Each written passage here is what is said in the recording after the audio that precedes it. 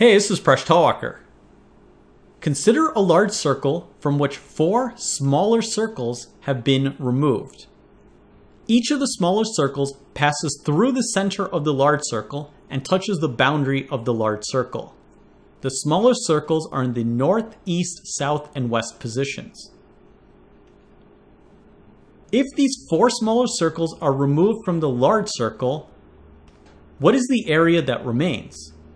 In other words, what is the area of the shaded region in the following diagram, which is the area of the region between the large circle and the boundary of these four smaller circles? The large circle's diameter equals 84. This problem was asked to primary school students in Singapore. Can you figure it out? Give this problem a try, and when you're ready, keep watching the video for the solution.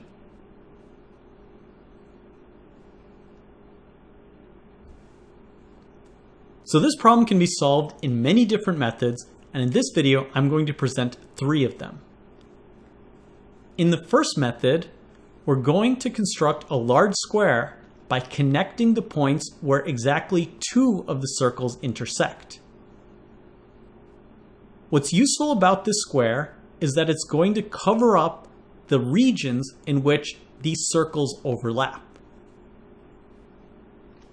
So we can now calculate the area that we need to remove by considering the areas of five different shapes which do not overlap. In particular, the shaded area is equal to the area of the large circle minus the area of the square minus the area of four semicircles. The large circle has a diameter of 84 and each of the small circles has a diameter that's half as long, so it's 42. The square has a side that's equal to the diameter of a semicircle, so its side is equal to 42. A circle has an area of pi r squared, and a square has an area of s squared. The four semicircles are equal to two circles. So we can now substitute in the dimensions of each of these shapes and we end up with an expression for the area of the shaded region. The answer will be 882 pi minus 1764, which is approximately 1006.885. So this method is nice because we don't have to evaluate the region in which two of the smaller circles overlap. In the next method, we'll go ahead and do that explicitly. What we'll do is we'll consider this square. We'll connect the center of one of the smaller circles to the points in which the two circles intersect, two adjacent circles intersect. So now, the area where these two circles intersect can be found as follows. This will actually be equal to the area of two of these quarter circles from each of these smaller squares minus the area of this square. So to show you where these two quarter circles come from, I'm going to separate them. So now you can see where that overlapping region comes from. Now each quarter circle has an area of pi r squared over 4, and the square has an area of s squared.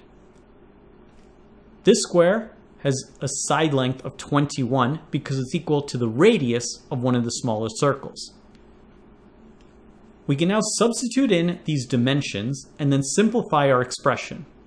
So we get the area of overlap between two adjacent circles is equal to 220.5 pi minus 441. So how is this going to help us solve the problem that we need? Well, we want to know the area of the region we've removed. So this will be equal to the area of the four smaller circles and then we have four of these overlapping regions. So we don't want to overcount the area that we're removing, so we're going to have to add back these overlapping regions.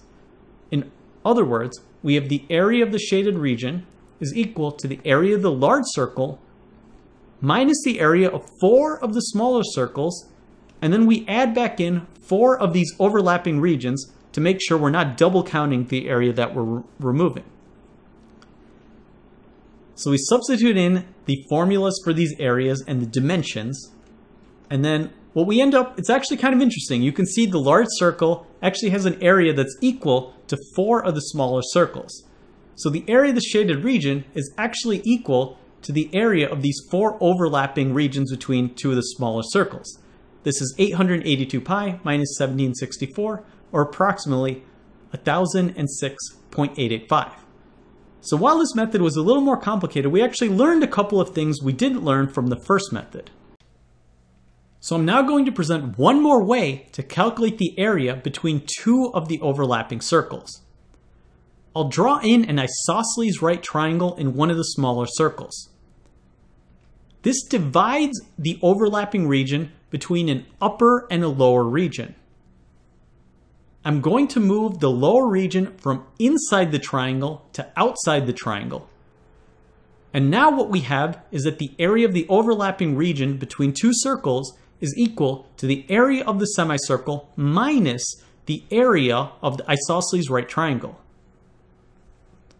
The area of the semicircle is pi r squared over 2, and the area of the triangle is equal to its base times its height divided by 2. The triangle has a height that's equal to the radius of the semicircle, which is 21, and its base is equal to the diameter of the smallest circle, which is 42.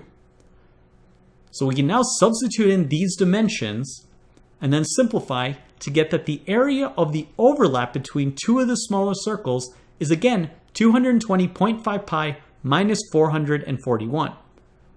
We then proceed just as we did in the second part of method 2, where we calculate the shaded region by subtracting out from the large circle four of the smallest circles and then adding back in four of these overlapping regions. We've already calculated each of these, so now we can get to the, exactly the same answer of 882 pi minus 1764, which is approximately 1006.885. Did you figure it out? Thanks for watching this video. Please subscribe to my channel. I make videos on math and game theory. You can catch me on my blog, Mind Your Decisions, which you can follow on Facebook, Google+, and Patreon. You can catch me on social media at Presh And if you like this video, please check out my books. There are links in the video description.